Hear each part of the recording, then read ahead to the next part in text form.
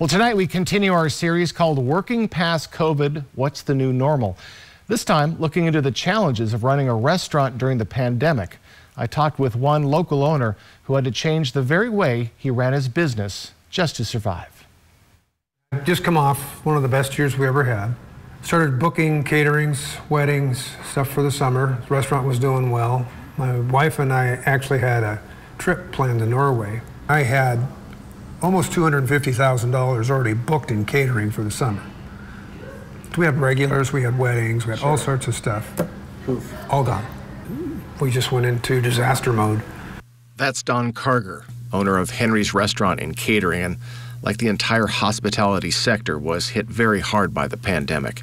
The first two months alone, Carger went into $30,000 of savings to keep his place open. So we were using our savings, we were keeping our staff going. Uh, First thing we did, we were doing takeout. The community was phenomenal.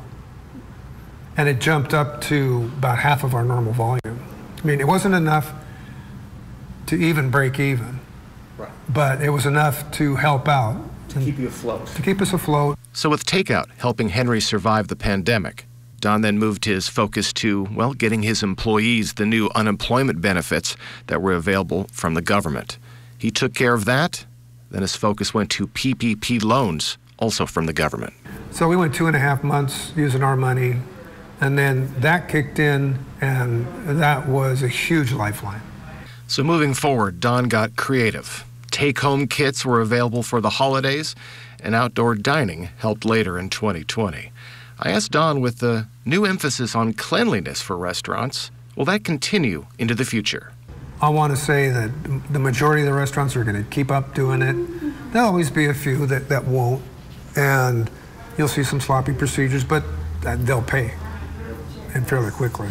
And finally, I simply asked Don, does he feel optimistic about the future? I'm optimistic. Uh, we've seen some restaurants open up through this. We've seen some close. Uh, it's kind of a weeding out uh, I don't like to say that, but it's it's sad for anybody to go out of business.